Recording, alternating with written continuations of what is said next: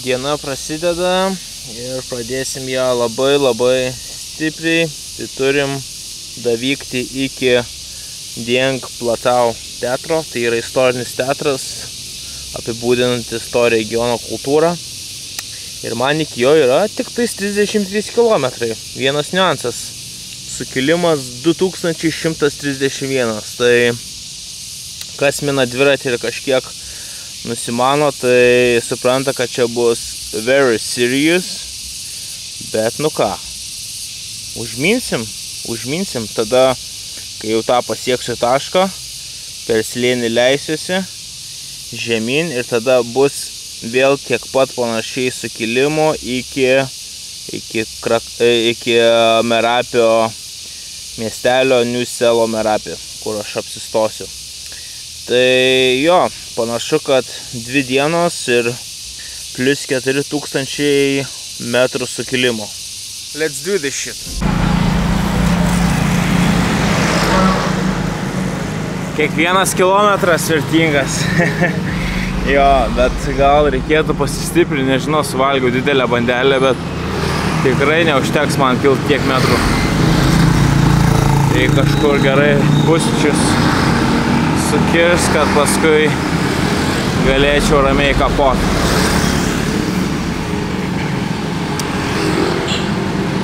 Jo, bus stipru šiandien. Aišku, priklauso koks tas sukilimas. Ar palaipsniui, ar staigus kalniukai ten po 15 procentų. Čia labai daug įtakoja. Ar daug prakaituosiu, ar labai daug prakaituosiu. Ką KGB veikia Indonezijai, neįsivaizduoju. Uh. Pavalgiau, tik užkilo 15 procentų. Judam toliau. Kai realiai tai važiūri į kelią ir dar reikia tau galvą pakelti, nes nematai, kur kelias pasibaigė, nes jisai tik kyla, kyla, kyla, kyla, kyla. Tai vadinasi toksai kelias 15, tarp 15 ir 20 procentų sukilimo, procentų, nu, jo, procentų statumo, tai fuh. Bet kas vas svarbu, tai neskubėk. Nes šiandien lenktynės, aš nesuplentiniu, dviratis apkrautas, tai turizme labai nepriskubėsi. Tokiuose sukilimuose geriau laikyti stabilų greitį ir, ir neužsipompuoti. Aišku, šiandien jau vakare kojytės bus maks užpompuotos.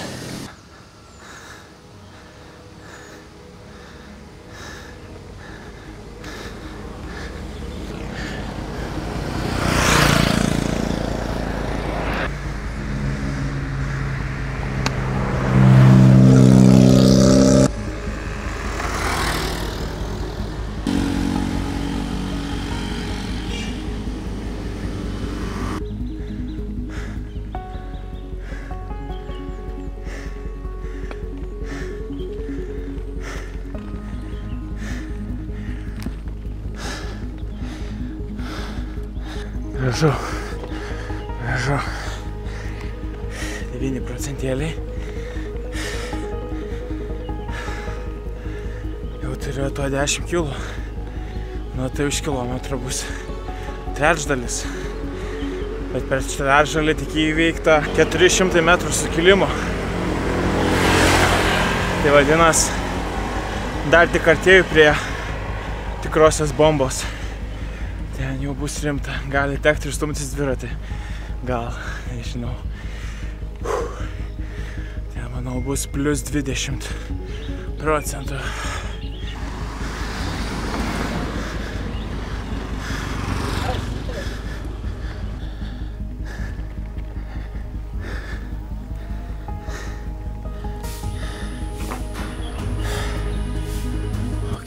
12 kilų, 5, 5, 5 gražiai atrodo diagramai. Ta būsi kilometro aukštė virš jūros lygio, tai iš tiesų jaučiasi. Jaučiasi, kad vėsiau, nors ir saulė šviečia vis tiek maloniau.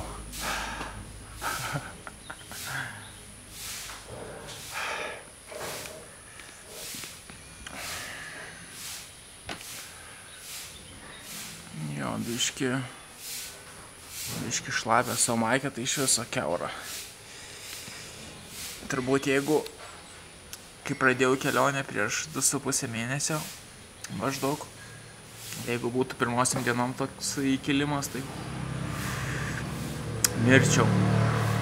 O dabar va užvažiavau ir į, nes mato, čia nais toksai realiai, be sustojimo kalnas, tik biškiai keičiasi laipsniai, tai pavariau į 15 procentų, į 18 procentų va nesenai. Ir dabar va kapoju apie 13 procentų ir va čia tokią kavinukę pamačiau. Nu galvoju, jau 12 kilų reikia gal kažką atsigerti. Visai, visai nepamaišytų kokią ledo vonę. Kai šokčiau, eiktų savo. Belekas. Vienas tes kapučino jau iššautas, užsisakiau dar vieną. Kol padarys, pagalvoju, reikia pa, padaryti bairį ir pasižiūrėti, kiek, kiek laipsnių yra kelias, nes čia žiauri, ta prasme, gerai atrodo, o kai sėdi ir taip matai tą tokį kampą, čia yra laipsniai, bet gal galima ir procentais pasidaryti, nežinau.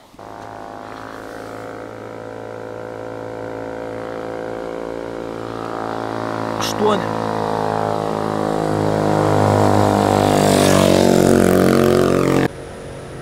Nu, žodžiu, gerai atrodo.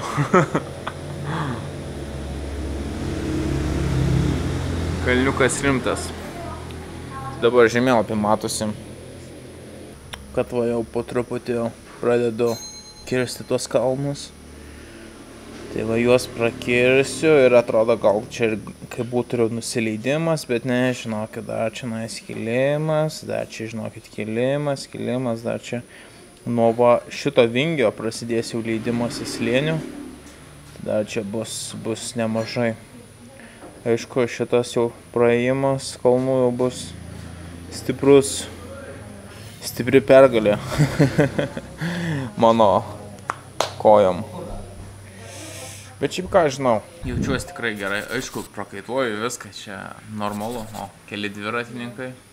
Bet čia tušti nekeliautai. Tai jo, ta prasme, lyginant kaip prieš du mėnesius daugiau, kai prasidėjo kelionė, tie visi sukilimai, taip galvodami, nu čia bus žiauru. Dabar supranti, kad žiauru, bet ir supranti, kad tikrai veiks ir nebus kažkokių permušimų. Aš atsimenu, kai va, ten buvo tos pirmosios dienos ir kai tenais dar šitas visas tropinis klimatas ir kai ten prasidėjo tokie kalniukai po 15-17 procentų, tu momentų galvau, kad tikrai bus blackoutas, jau ten reikėjo sėsti ant žemės, ta prasme, nulip nuo dviračių ir sėsti ant žemės. Taip. Dabar jau kitaip. Na kas?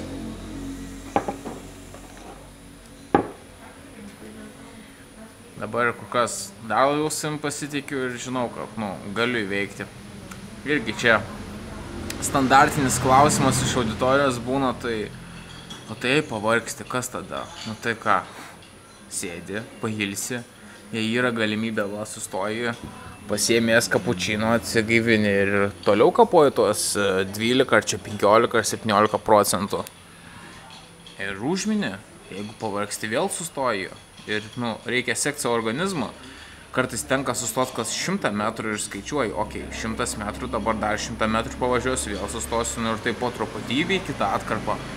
Kartais sustoji kas 500 metrų, kartais sustoji kas 10 km. tai bet, nu, pavargsti sustoji, tai čia apie pasidavimą net nėra net ką kalbėti, tiesiog važiuoji ir tiek reikia įsikelt tikslo, kad tavo misija yra šiandien pravažiuoti šitą kalną, o kiek sustojimų, kiek tau tai truks kainuos, čia jau nesvarbu. Tiesiog reikia tą padaryti. Šiaip žiauri geri kapučino. Čia vieni tokių geresnių, kiek teko ragauti viso Indonezijai. Taip ir gražiai padaryta viską. Stiklinės atrodo visai fainos, ta prasme ne kažkokios subraižytos ir kartais atneša, pavyzdžiui, maistą lėkštę, tai lėkštė atrodo, kaip, žinot, būna pas kokią babušką kaime, kur tai lėkštai 40 metų ir visa tokia subraižyta jau, mačius abu pasaulinius karus. Tai kartais va, tokiose lėkštėse atneša maistą, tai, tai čia saliginai visai, visai aukšto lygio aptarnavimas.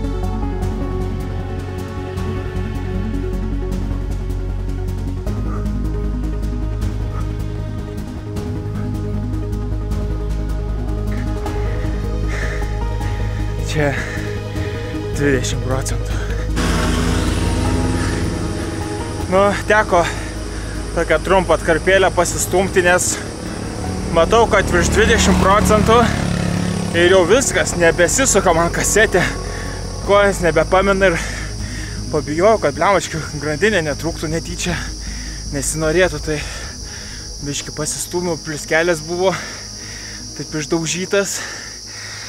Dabar tai jau tik 12 procentų, 11. Tai galima biški ir pafilmuoti. Nu, jau beveik pusiaukelė šiandien to kilimo. Aišku, dar minsiu, paskui leisiuos nuo viso šito kalno.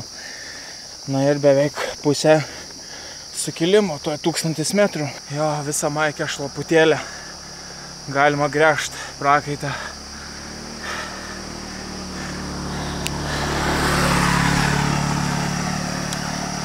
Tai šiandien ryte pasižiūrėjau spidometrą, bendrą statsą, statusus nuo pradžios minimo kelionės, nuo sausio 15. Tai atrodo, kad jau sudeginau apie 203 tūkstančius kalorijų. Nemažai. O, šitaip atrodo skalė. kylu, kylu, kylu. Jo.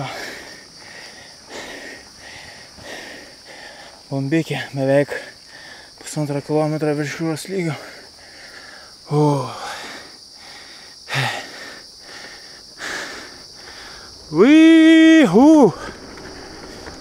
Oi.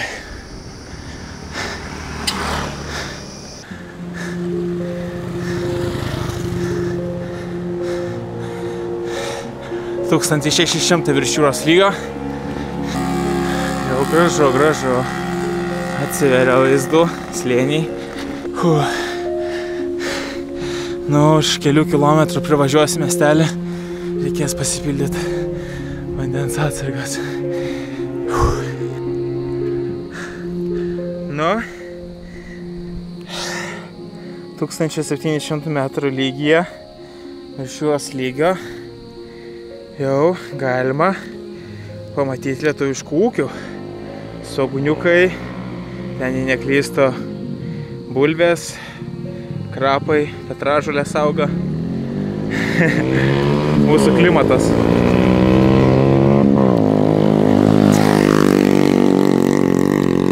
Jau realiai beveik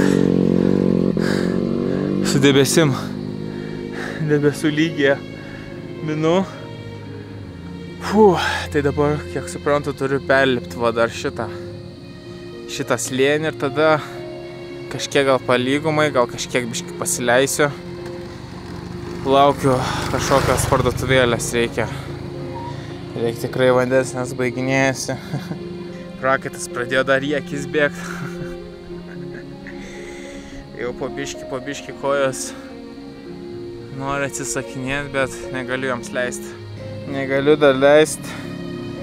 Dar apie 900 metrų sukilimas laukia maždaug. Dar puškuosim. Reikės vėl valgyti kažkur.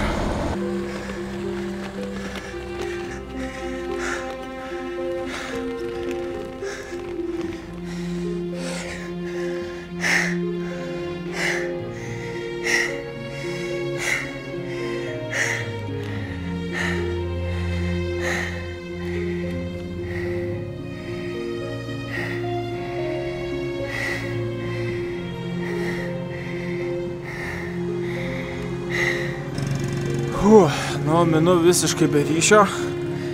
Dabar Dvam kilų ir 1-3 sukilimo, tai nežinau kaip šiandien su planu pasiekti savo tašką ir turėti bendrą 2 km 100 metrų sukilimo per šiandien. Galiu ir nespėti, nežinau, matysiu. Nu, aš ne robotas, varau tiek, kiek galiu, bet kalnas nelengvas. Man patys matot, čia zigzagai į viršų. Jau 2 km virš jūros lygio. Tai laipsnių, o, bet va, vis tiek galima rasti full estetiką. Apie 18 laipsnių dabar, vėjukas, tai nėra labai šilta, turint omeny, kad maikė mano visa prakaituota ir šlapia. Tai duoda tą vėsumą. Bet šiaip normaliai.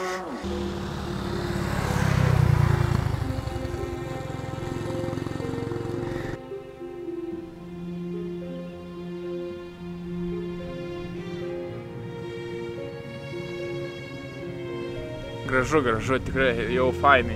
Nors imk ir išstatyk palapinę į tokį vaizdą, bet negaliu dar taip anksti sustot. Pusė keturių. Vaikai liuksiukus rodo. Jo, yra ir maladėts tokių vaikų. Papl... Bliam atsimenu kartą, tai net burelis toks vaikų visi ploja man. Tai taip žiauriai smagu, arba liuksą rodo. Nu, tokie atrodo visai supratingi, o kiti tai tiesiog klykoja, žviegia, nors atrodo tokio paties amžiaus. Arba net būna suaugę žmonės žviegia tiesiog į veidą. Aaaa, va tai va yra buvę, ta prasme, what the fuck. O, čia gražu visai. Toks kalniukas. Bet į debesis tokie masyvus, nu, tolumoj masyvus. Nu, bus gal downhillas, žinokit, nuo to, kad downhillas su 15 procentų, tai vieną ranką biški galiu ir užsimušti, tai... Ir GoPro įsikrovė. būna, būna.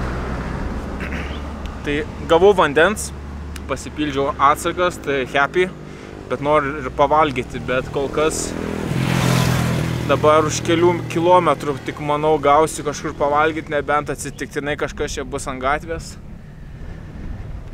Nes jau kojos, kojos, nori sakyti, ei seniuk, reikia polsio. Bet jei čia panašu ir bus downhillas, tai viskas ok kojom. Jo, panašu, kad biški pasileisim. Negaliu pasitikrinti ant Google Maps'ų. Visiškai be ryšio. Ok. Nu, štai, pasileidau apie 300 metrų, tai labai toksai smagus leidimasis buvo. Toksai atlyginimas už kiek kilau, prakaitavau, tai dabar ieškom kažkur pavalgyti ir pasikrauti biškį elektronikos. Dabar kartais vakarais jie yra laiko dar po montavimo. E, pasileidžiu Černobilį. Pradėjau žiūrėti Černobilį. Šiaip turbūt jau matęs kokius 2-3 kartus visas serijas. Tai dabar liko paskutinė serija. Tai va kartais padeginu ant to bateriją savo. Bet nedaug. Iš tiesų va dėl ko pirkau Maką, nes baterija tai kosminė, ta prasme.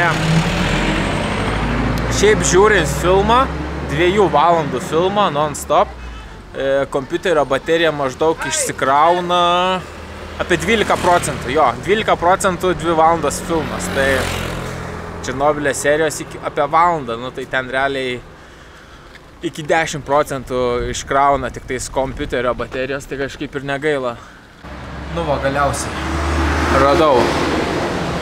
Kokią skylę, gaila turi tik tais bakso, nėra ten tie kukuliai tokie geri. Ten kartais atrodo iš visokių vištų odų, kanopų ir nagų. Nu, bet uh, turi, ką turi, pavalgyti aš žiauriai noriu, plaukai geruliai tokie. Huh, tai dabar kas manęs laukia. Bent Google Maps'as rodo 13 km ir 500 metrų sukilimo, kas visai normaliai, visai normaliai. Nežinau, kaip čia seksis iš tiesų, dabar jau keturios. Ar spėsiu, nespėsiu. Nu, nėra tai blogai, ta prasme. Na kas, Vien tas gerai, kad čianais aš esu aukštai, tai nei uodų, vėsų, tai geras miegas čianais turėtų būti kalnuose, papėdį, bet jo, kalnas rimtas buvo nu ir dar nesibaigė. Dabar tokie va biški pašokinėjimai, pavinguriavimai, o prieš tai tai buvo vien kilimas, vien kilimas. Va taip tas bakso atrodo, kukuliai, e, makaronai ilgi nu ir viskas.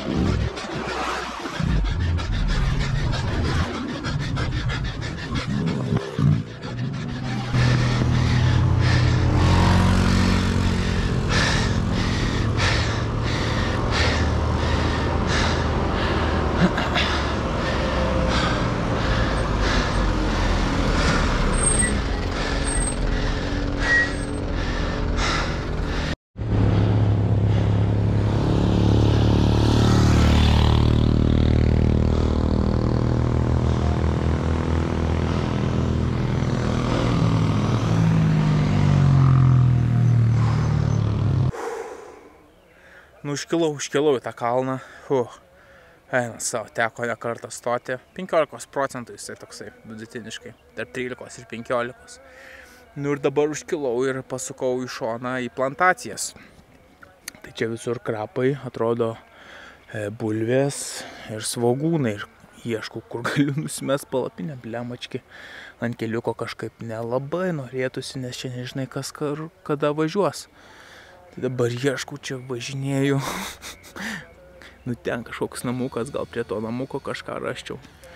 Bet šiaip vieta tokia pakankamai rami ir, ir faina, va, aplinkui slėnis. Gražu, gražu. Uf, rytas gal bus gražus su droneliu. Tai reikia kažką, kažką suras, blembački. Aišku, aš jau čia biški nutolau. Galėčiau ir čia pasistatyti tą palapinę, bet sakau, kažkaip atrodo nelabai mandagu ant keliuko statyti, žmonėm trukdyti dirbti. Bet jeigu ne sezonas čia rinkti dar visko, tai nelabai kažkam ir sutrukdysiu. Man tik reikia gabalėlio žolės. Plotelio. Nu, kažkas tokio, tik lygesnio. Tik truputį lygesnio ir truputį daugiau. Ten palapinė kažkokia. Nesinori čia labiau ratais kvadratais lakstyti. Nes turbūt irgi nebus išytis. Aišku, čia va derlius nurinktas. Galėčiau ir ant derliaus pastatyti. Gal labai čia kažkam netrukdyčiau. Dilema. Nu bet, pala, einu iki to namuko. Lušnelės. Nieko, surasiu. Aš visada surandu. šiaip savim daug kur pasitikiu, daug sferų, bet o kas liečia palapinės statymą ir suradimą nakvinės vietos palapiniai, tai aš visą laiką dabar jau ramus esu, ta prasme, per zombio apokalipsį ir tai raščiau, kur palapinę pasistatyti saugiai. Kažkaip jau šitas išsiūgdė man. O, bet šiandien dienelė eina savo, eina savo. Pakapojau, pakapojau. Nu bet, ko norėt? Ugnie žemė, ta prasme, Fire of Ring. Tektonės plokštės, čia susikerta. Ko, jūs, ko, ko man reikia tikėtis? Tai faktas, kad kalnų negaliu vien minti lygumom. Nu, čia kažkas gyvena, negyvena.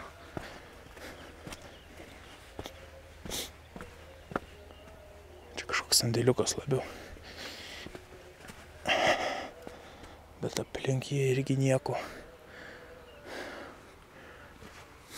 Visiškai. Nu, bliamački, kiekvienas kvadratinis metras apsodintas. Ryžių laukuose kažkaip lengviau biški rasti tą plotelį, nu, bet nieko.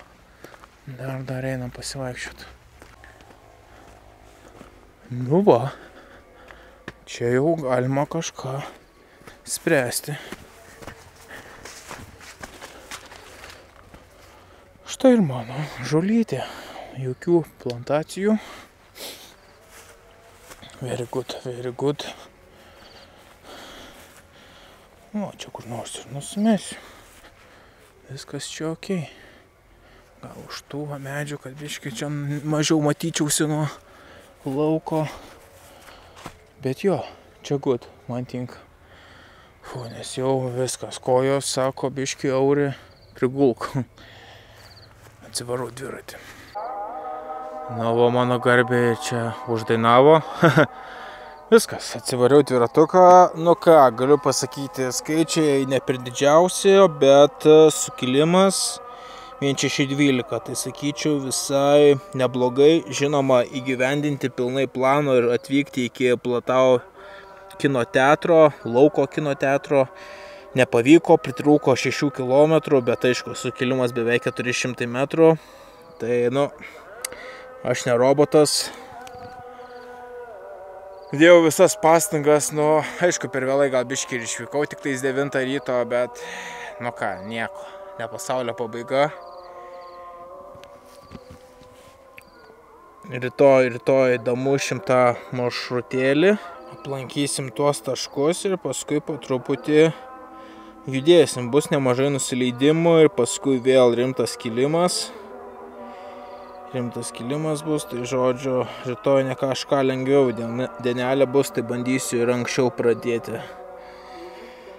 Nu, va, tik atrodo vos 4 valandėlės ir tik tram 4 km. Čia tas pats, kas iš Kauno Jonavo nuvažiuoti per 4 valandas. Neblogai, neblogai. Vidutinis 9. Įdomu, kiek čia būtų sukilimų, tarkim, į Jonavos, ne Jonavos parodos kalną Kaune arba, arba pilies, pilies kalną Vilniui. Kiek čia tokių gautųsi sukilimų, kad surinkti vien šešis, vien, vien 1600. Visai nemažai, manau. Jo, tai iš tiesų daug žmonių matuoja savo visas distancijas nu kilometrais ir vertina sunkumą pagal tai, bet uh, Ne, nereikėtų to daryti. Jei kažkas girsis, kad daug nuvažiavo kilometrų, tai paklauskite, koks sukilimas buvo. Jei ten buvo tik tais šimtas ar, ar ten truputį daugiau, tai stiklų važiavo realiai. Tai vienintelis, kas galėjo būti pasipriešinimas, ypatingai va Lietuvoje, tai vėjas. Čionais vėjas nelabai būna aktualus, nes nu, vis tiek Indonezija yra džiunglių kraštas e, ir daug šiaip plantacijų ir nu, daug kalnų ir nesigauna vėjų susidaryti didelio. Visur kažkok, kažkokie yra kampai, kur vėjas tiesiog sustoja. Tai čia nais vėjas nėra aktualus, čia nais tik aktualus sukilimas. Lietuvoje taip ir sukilimas aktualus, ir, ir vėjas aktualus, bet nu, Lietuva lygi, lygi valstybė, tai ten biški kitaip skaičiuojasi tas kilometražas. Čia va, kartais gali labai ramiai nuvažiuoti plius šimtuką kilometrų, o kartais va, trecoką kilometrų vos puškuoji. Kažkur čia rūpužė šokinėjo. Viskas temsta, temsta. Tuo transporto irgi apmažės. Šiaip kelias nėra labai aktyvus, nu čia nėra pagrindinis kelias, tai tuom džiaugiuosi. Vaizdai irgi kur kas malonesni, kai yra truputį kalnelių. Metam palapinę. Nu va, 18 laipsnių. Tai jokio prakaito, taip gerai eina savo. Nu, kaip Lietuvoje, ta prasme. Ir kaimyniau jau leidausi nuo tų kalniukų. Kankamai vėsų buvo, nu, maikė šlapė, tai pasikeičiau maikę. Ir šiaip čia nais vietiniai, tai ne, jau nebe su maikutėm laksto motoroleriu. Ir pilnai suprantu, plembačkė nuo 18 laipsnių, jeigu ten greit lėki, tai gan vėsoko, tai jau reikia kokio džempuko. Jo, tai taip va, fainai. Pirma tokia naktis, viena vėsiausių turbūt. Nu ir vėl reikės mėgmaišiuką užsidėti. Bet dar nebuvo nei vienos nakties, kad grinai lyščių mėgmaišių užsisekčiau. Buvo tų naktų, kur tiesiog užsidengia ir užtenka. Tai ši naktis bus neišimtis. Nu ir šiaip pamiršau pasidalinti su jumis, kad jau mano sąskaitoje plus 6000 km, 6118. Super super, judam, judam po truputį. Tai jau tikrai daugiau negu pusiaukelė yra. Iš tiesų tai jau pusiaukelė buvo kažkur dar Sumatroje va, maždaug kokią 60 dieną, kai jau buvo maždaug apie 5000 km. Nes visa kelionė nugausės apie 10 tūkstančių, aš taip mastau kažkas tokio, tai Jo, jau judam į antrą pusę. Ai, o kalbant apie Černobilį, tai mano brolis vaidino Černobilį, buvo tenais masinė scena. Ir trečioje serijoje, kai Ignatenko jau mirė ir jau čia nais vyksta išnešimas, tai va čia nais mano brolis, tuo matysis. Tai va jie čia nais kelia, čia mano bratkis, apsirengęs tipo daktaru į karstą, jo. Tada čia ta sena ir užkalimas. Ir dar bus į vieną vietą, jo, va čia mano bratkis neša tipo tą karstą. Jo, tai va čia irgi jisai. Ir šita visa scena buvo nufilmuota e, radiotechnikos gamykloj. Kaune prie prisikėlimo bažnyčios ten tas įvažiavimas į rado technikos, tai va tenais toj va vietoje ir buvo tas, uh, tipo, lavono įkelimas į karstą. Tai, tai va, bairis. Bet viskas, liko paskutinę seriją pažiūrėti ir būsiu, būsiu visą Černobilį peržiūrėjęs. Nu ir reikės išgerti šiandien dar, šiaip kiekvieną dieną geriu ryte ir vakare BCA po 3 tabletės. Nežinau, ar čia tikrai ne per mažai, bet gal ir daugiau reikėtų, bet ai, po 3 geriu. Ir, nu, manau padeda, manau padeda truputį atsistatymui. Tai rytoj, nežinau, matysim, ar sumušiu rekordą savo sukilimo ar ne. Kol kas šitoj kelionė daugiausia sukilimo buvo per dieną 1700, tai va šiandien nedaug trūko pasiekti to. Nu, rytoj, jeigu viskas pagal planą, tai pff, turėčiau easy virš 2000 permušti, bet nežinau, ar užteks dienos laiko ir ar užteks jėgų tiek pavaryti, matysim. Tai va, einu ilsėtis ir ačiū, kad buvot, ačiū, kad žiūrit ir, ir kad prenumeruojat. Sutiksime rytoj, bičiuliai.